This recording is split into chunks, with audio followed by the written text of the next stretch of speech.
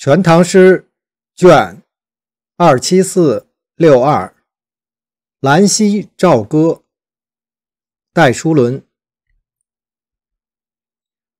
凉月如眉挂柳湾，月中山色镜中看。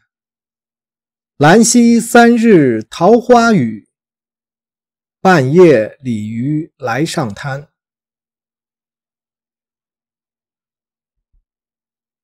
全唐诗》卷二七四六二，兰溪棹歌，戴叔伦。凉月如眉挂柳湾，月中山色镜中看。兰溪三日桃花雨，半夜鲤鱼来上滩。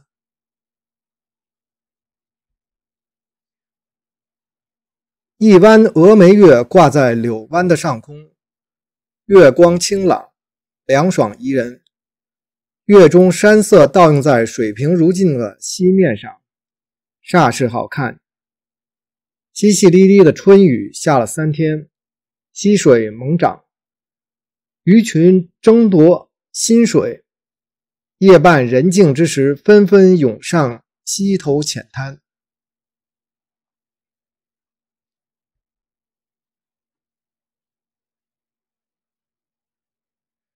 戴叔伦于唐德宗建中元年五月至次年春曾任东阳令。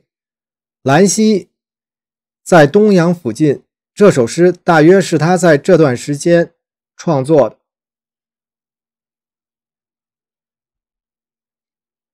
凉月如眉挂柳湾，月中山色镜中看。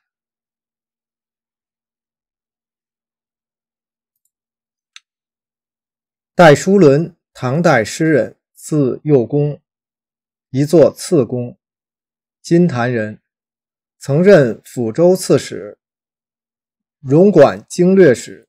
其诗多表现隐逸生活和闲适情调，原有集已散佚。